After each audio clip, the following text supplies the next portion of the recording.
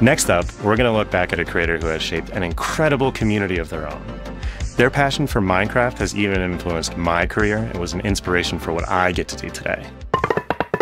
Hey everyone, I'm Dan TDM and I've been making Minecraft videos for 12 years now. The game Minecraft means a lot to me and I owe a chunk of my life to it. It all started with this Minecraft modded Let's Play in 2012 and I've never looked back. Thanks to this game, I've been able to tell my stories, travel all over the world, and meet so many incredible people. Some of my favorite moments over the years come from gaming festivals where I've been able to do stuff like tell my Minecraft stories live and the Minecon events in Orlando in 2013 and London in 2015, where I could meet people from all over the world that not only watched my videos, but loved the game of Minecraft as much as I did. The event in London was extra special because it was in my home country and what they did with the event space was just incredible.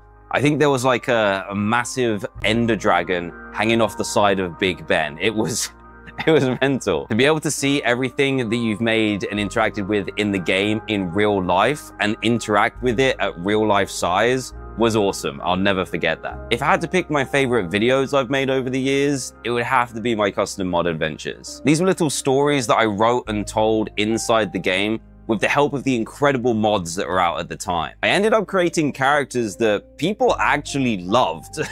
there was Dr. Trayaurus, who was a mad scientist villager who always messed up the experiments and something went wrong because of him. And then there was Grim the skeleton wolf as well, just to name a few of them. I think Minecraft completely shaped the way that I live my life now. When I was younger, I was painfully shy as a teenager all the way through secondary school and making videos, meeting new people, and having these crazy new opportunities because of these videos allowed me to grow massively as a person. I don't really know what I'd be doing now if I hadn't played the game.